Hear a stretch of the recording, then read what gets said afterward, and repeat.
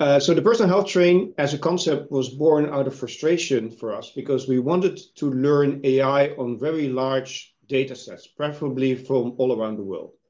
Because the more data and the more diverse data an AI can see during training, the more relevant and good it will become for the whole world, right? So having access in the training and development of AI to a wide variety of data is crucial. But obviously, health data is very privacy sensitive, and people don't want to necessarily, or can, because of legal reasons, not necessarily share data. We had to develop a concept where data does not need need to leave the hospital.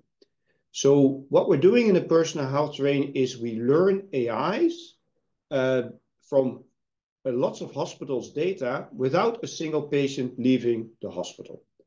And this is this infrastructure is indeed called the Personal Health Train, and the Personal Health Train is a metaphor where a train, so a train like almost behind me, actually, is um, is traveling to a station, and a station is a hospital with data.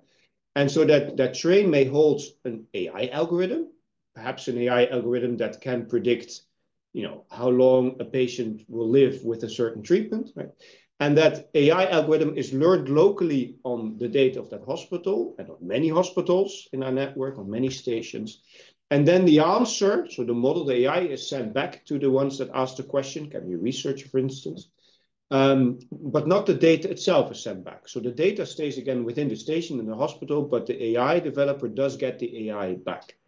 Uh, And this is managed by something called a track, and the track is the legal and the technical governance to do that. Because, of course, you still want to discuss things like, you know, security and what happens with the AI afterwards. So the Personal Health Train, in the end, enables us and other people, not just us, to learn better AIs and more relevant AIs, because they're learned from more and more diverse data than any other system.